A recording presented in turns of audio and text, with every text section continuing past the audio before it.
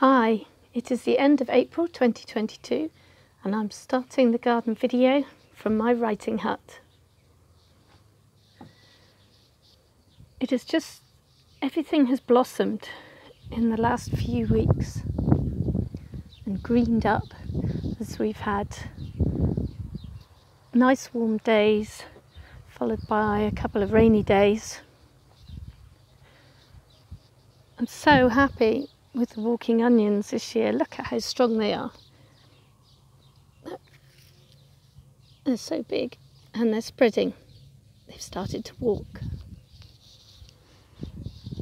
We've put several new ground cover plants in and everything else seems to be growing strong. This is the horseradish we put in last year. It's now actually several plants, so hopefully this autumn we can start harvesting.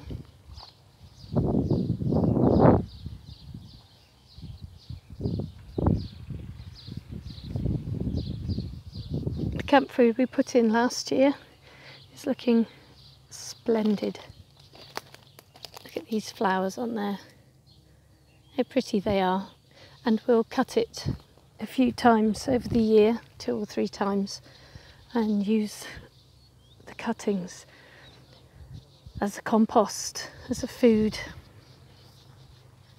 for plants. My dandelion crop is doing very well. I have taken all the dandelion flowers twice now from the garden to make dandelion jelly, which is very tasty.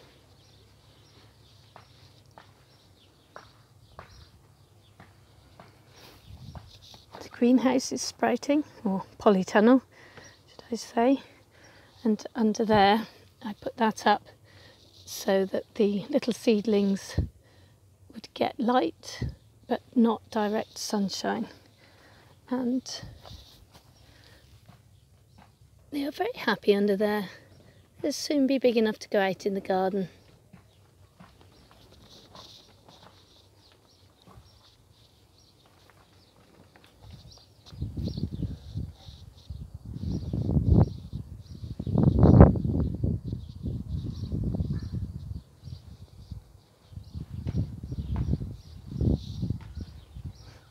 The rhubarb patch is exploding and it's very tasty.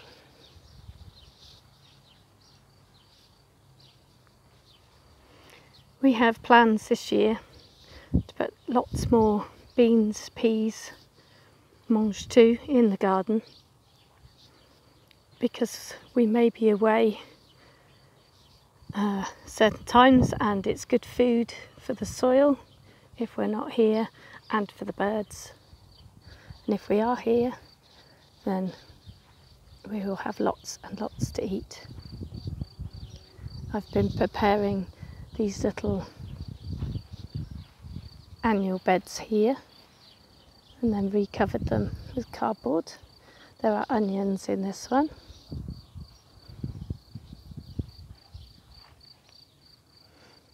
All the blossom here on the cherry tree. This is our little tiny cherry tree. Just always has lots of blossom.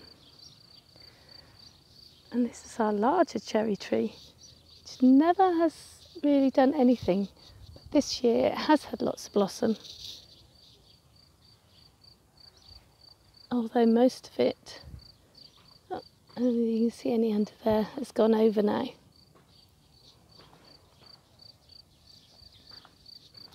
Gooseberries black currants are just looking so good this year.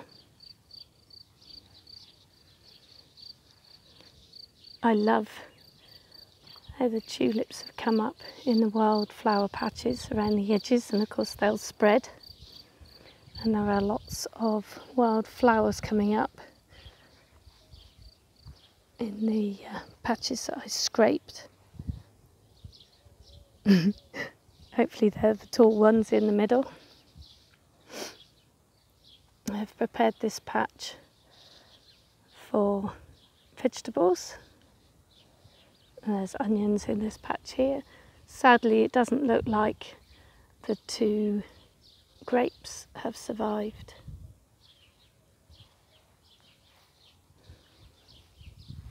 Over here is my Aquilegia patch and they are preparing to flower. And of course, Aquilegias are edible, so it's another another crop there. I'm loving this tree. It grew at the back of the garden, and when we cleared the back of the garden to put the polytunnel in, we found it as a very small tree. It's grown so much. We obviously found the perfect place for it. We've extended our dead hedge and are slowly filling it up. But there are lots of plants growing at the bottom and hopefully they will weave their way through.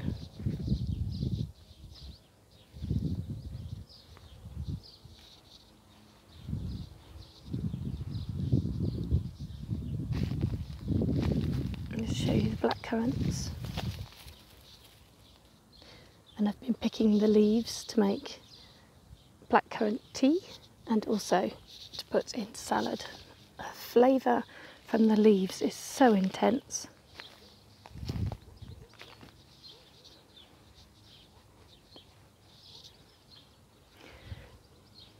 I have put some tadpoles and some pond snails into the little pond. But I have seen the snails, but I haven't seen the tadpoles. But yesterday when I walked past, something shot across the pond. And I'm wondering if there's perhaps a frog in there or perhaps there is um, a dragonfly larva, which of course will eat the tadpoles.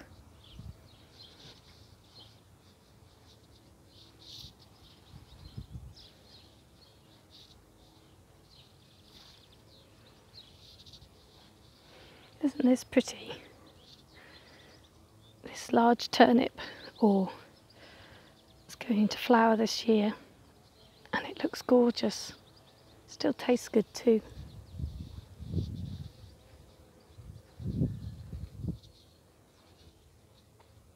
There's our twirly gig that a friend of ours made for for us.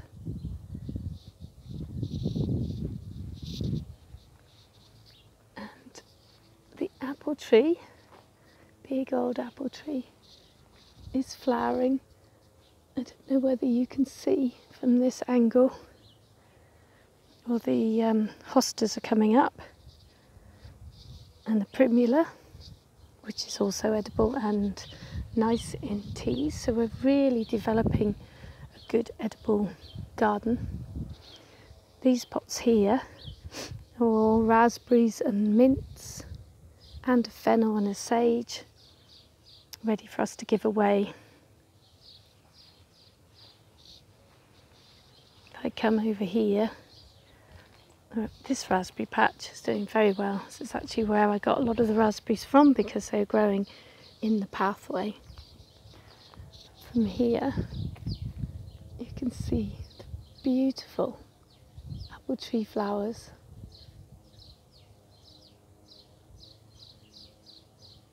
and there's been an incredible buzz around this tree. I don't know whether you can hear it.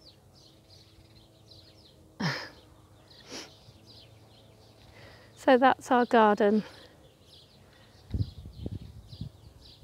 this April, and I'll see you in a month. Thank you for watching.